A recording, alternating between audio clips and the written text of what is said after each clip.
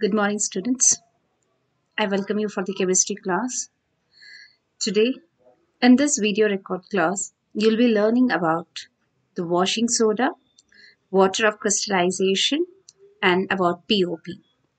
These concepts will not be taught in the online classes, so please make a note of that. First, let us study about washing soda. Washing soda is Na2CO3, so it is sodium carbonate. How it is prepared? Preparation When sodium carbonate is manufactured by the thermal decomposition of sodium hydrogen carbonate, which is obtained by Solvay process. So this method you'll be studying in the online class. So continuation of how the sodium bicarbonate is obtained, you have to go with thermal decomposition of sodium bicarbonate. How the sodium bicarbonate is obtained? It is NaCl when it is made to react with carbon dioxide, ammonia and water, you get NH4Cl and NaHCO3. So this is sodium bicarbonate. And this sodium bicarbonate, when it is subjected to thermal decomposition, we do get carbon dioxide, water and sodium carbonate. And this is anhydrous. So dear students, you know that the, the equation has not been balanced. We know that you won't get full marks when the equation has been like a skeletal equation. Now your duty is you have to balance this equation. You can see here it is not balanced. There is Na2. Here it is only one Na. So balance the equation, right? Then so what we got is anhydrous. So the sodium carbonate obtained in this process is very dry, anhydrous. So we'll say we'll call this as soda ash or anhydrous sodium carbonate. And washing soda is obtained by rehydration. So what we have to do when we add water to it, anhydrous, what we got when you add water to it. So what we get is Na2CO3 with a dot 10H2O. So when you rehydrate of anhydrous sodium carbonate, you get hydrous sodium carbonate. Hydrous means they do have water content in that. Okay, in the crystals, right?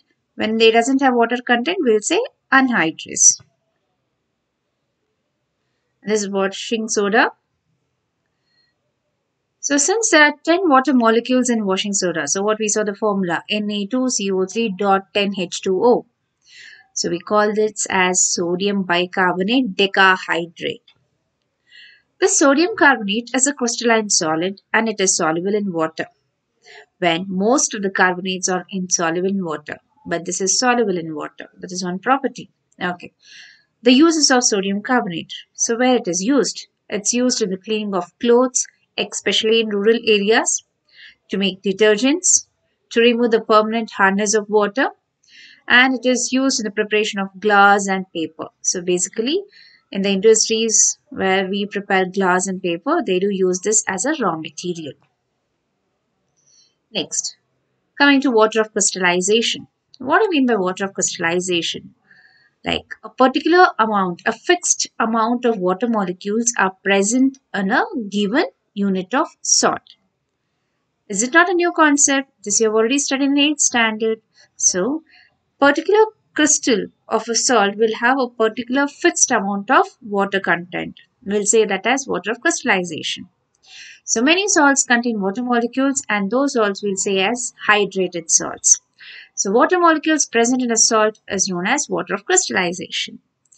The particular example in your prescribed syllabus, copper sulfate pentahydrate. Copper sulfate is CuSO4.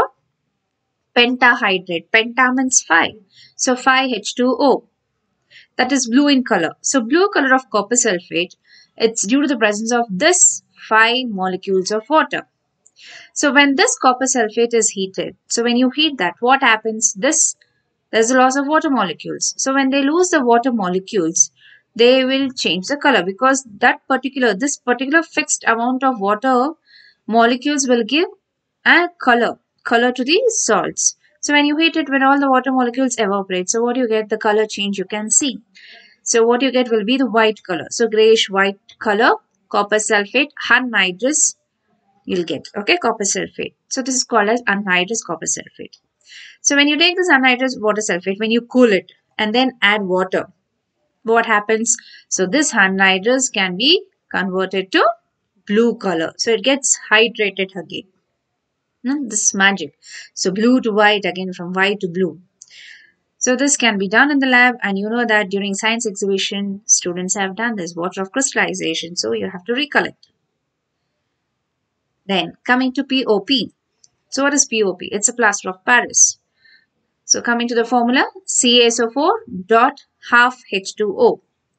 Calcium sulfate hemihydrate. Can you think? This CaSO4 will have half molecule of water. So basically it is two molecules of CaSO4 will be having one molecule of water. Okay. When you take one CaSO4, automatically it will be half. That's it. Okay. Now the CaSO4 with 2 H2O, this is called gypsum. Right. So when you heat gypsum at the particular temperature, right, 373 Kelvin. So what you get is CaSO4 dot half H2O. This is POP and three-fourth of the molecule that is one and a half molecules of water will be eliminated. So this is POP preparation, right? So this gypsum, when it is heated to a particular temperature, so temperature has been noted over here, you do get a POP, where three-fourths of the molecules will be evolved. It will be liberated. There will be a loss of water molecules. So go for the theory part. So heating of gypsum should be not be done above 100 degrees or 373. So what happens if I cross the temperature? so more when you supply the heat what can happen so above that so water of crystallization will eliminate. You can see this uh, again half also will start eliminating. There's loss of water molecules and what you get will be anhydrous. So what you get only is CaSO4 and this anhydrous is known as dead burnt plaster. And that cannot be used. So you know the use of POP, we cannot mold it again. So whenever you get the dead burnt plaster, and don't even think, mom, we can add water. No, you cannot add water and make make it as POP. No, it cannot hold it. So once it is burnt, we'll say it as dead burnt plaster. Okay, CSO4 plus half H2O molecules means that two molecules of CSO4 will share one molecule of water. So when you take one CSO4, it will be half molecules of water. So coming to properties has remarkable properties of setting into a hard mass on wetting with water. So this is important. So when you wet with water, it sits into a hard mass. So that is used where you can use POP to just uh, go to the medicinal things where you go with the fractured bones. So how to set the fractured bones is because of that. So it sets into a hard mass. Right. So CaSO4 half H2O. So when you get this POP, and again, when you add 3 fourth of water, so what has been eliminated is one and a half of water. So you do get gypsum back.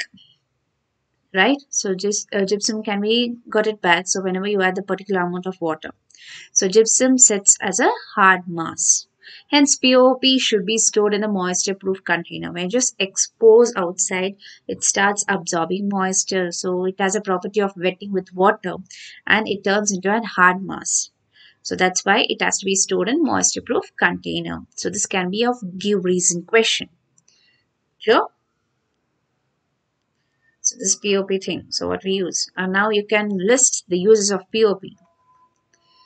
Now it is used in hospitals for setting the fractured bones in the right position to ensure the correct healing and making toys, decorative materials and some cheap ornaments and the cast of statues They used as a fireproof material.